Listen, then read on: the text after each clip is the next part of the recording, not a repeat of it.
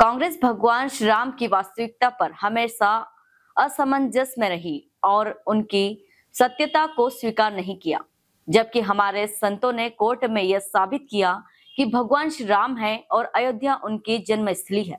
कांग्रेस ने श्री राम सेतु को भी भगवान राम की तरह काल्पनिक बताया, पर कांग्रेस का दुर्भाग्य है। जहाँ एक और पूरा देश राम की भक्ति में लीन हो रहा तो वहीं कांग्रेस भगवान राम सहित पूरी रामायण को काल्पनिक बताती रही है। पर अब यह प्रमाणित हो रहा है कि भगवान राम रामायण और अयोध्या का मंदिर प्रत्यक्ष है और जिसमें हनुमान जी भी अखंड, चिरंजीवी है और जीवित और जागृत है। कांग्रेस पार्टी जब से बनी है, झूठ की बुनियाद पर ही उसने काम किया है और सत्ता में आई है और उसने हमेशा समाज को और देश को भ्रमित करने का कार्य किया है। और आज भी कांग्रेस वोट की राजनीति करते हुए देश को भ्रमित करने का कार्य कर रही है। प्रदेश की जनता अब कांग्रेस की असलियत को जान चुकी है। अब तक मैं निन्यानवे बार भावार्थ स्वरचित रामायण कथा का पाठ कर चुका हूँ। और मुझे मेरे गुरु ने बताया था कि जैसे ही तुम्हारी सौ पाठ रामायण के होंगे तो तुम्हें भगवान श्री राम के दर्शन होंगे। पर यह प्रभु की कृपा है कि निन्यानवे पाठ होने के बाद भी मुझे प्रभु के दर्शन करने का सौभाग्य मिल रहा। अपनी प्रसन्नता को मैं शब्दों में बयां नहीं कर सकता। सेगांव से जितेंद्र अग्रवाल की रिपोर्ट। अयोध्या में श्री राम मंदिर उत्सव में आपको निमंत्रण मिला है। बड़े हर्ष की बात है। क्या कहेंगे आप और कैसे व्यक्त करेंगे इस खुशी को? भगवान की कृपा से इतना महोत्सव हृदय में उल्लास भरा हुआ है। ऐसा लगता है कि जैसे उड़कर चले जाएँ। देखिए, रामायण पाठ की फलश्रुति बताई है कि जो सौ पाठ रामायण जी के कर लेगा, कर लेते हैं, उनको राम जी का दर्शन होता है।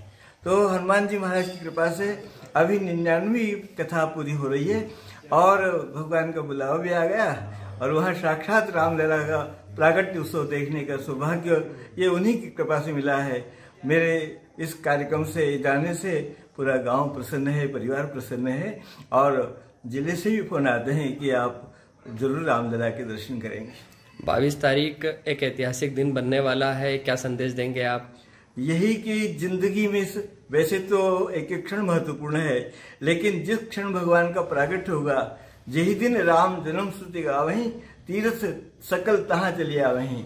जिस दिन भगवान का प्रागट उत्सव होता है रामनवमी के दिन उस दिन विश्व के जितने भी तीर्थ हैं, सभी सहसरी विद्यमान होकर भगवान रामलला का दर्शन करते हैं, प्रागट्य का।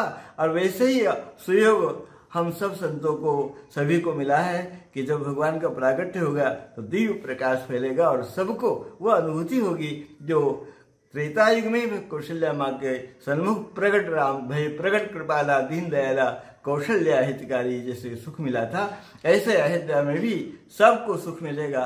और अयोध्या में भी, और यहाँ पर भी जो जन जन अपने हृदय में भगवान राम को बसाए हुए हैं, जो राम का भजन कर रहे हैं, राम नाम का जप कर रहे हैं, आप निश्चित मानिए कि आप जहाँ पर भी हो, मध्यान्ह काल में 12 बजे आप बैठोगे, आँखें बंद करके, दीपक जलाकर, हनुमान चालीसा का पाठ करके तो आपको वही सुख मिलेगा जैसे राम जी की प्रागट्य के समय सबको मिलता है।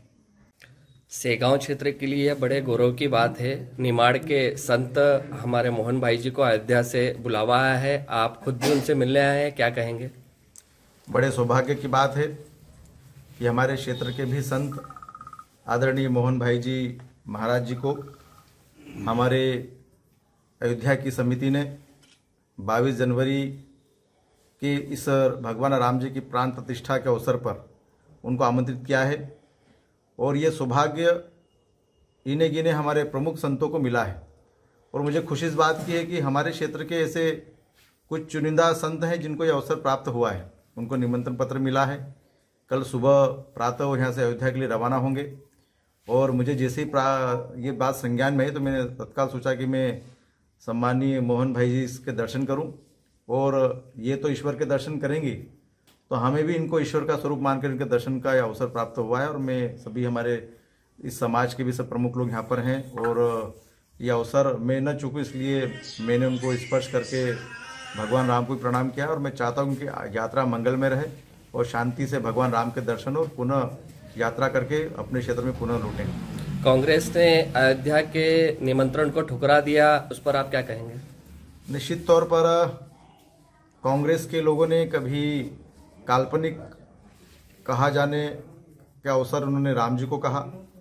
कभी राम सेतु के उस पथ निर्माण को भी उन्होंने काल्पनिक बताया।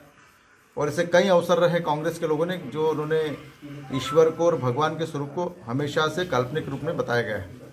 परंतु ये सत्य होते हुए दिख रहा है कि कांग्रेस के लोग अब क्या करें।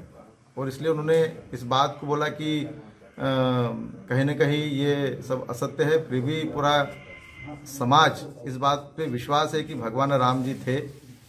जीवत, जागृत हनुमान जी भी आज वर्तमान में हैं और ये साबित भी हो चुका है। ये प्रमाणित भी हो चुका है। कोर्ट में बयान देने के लिए हमारे संत जिनकी आँखें नहीं उन्होंने भी पूरे अध्याय के साथ में साक्षात प्रस्तुत किया है कि भगवान राम जी का इतिहास और उसके प्रमाण। और कोर्ट ने भी इस बात को साबित किया है। तो निश्चित तौर पर कांग्रेस ने जब से कांग्रेस पार्टी बनी, तब से वो झूठ के बल पर ही सरकार में भी आई है और जनता को भ्रमित किया है। और आज भी भ्रम फैलाने की कोई भी कसर कांग्रेस के लोग नहीं छोड़ रहे हैं। तो मुझे लगता है जनता इस बात को जान चुकी है कि कांग्रेस सिर्फ़ अपने वोट बैंक की खातिर राजनीति करती है। उनको ईश्वर से, उनको समाज से, उनको आस्था से कोई मतलब नहीं है। और इस बात को पूरी ताकत से मैं कहता हूँ कि ईश्वर है और ईश्वर के प्रति हम सबकी आस्था है। आप देख रहे हैं हमारा channel S W twenty four news हमारे सारे वीडियो सबसे पहले देखने के लिए आप हमारे चैनल को सब्सक्राइब करें और पास में लगे बेल आइकोन को दबाना बिल्कुल भी ना भूलें।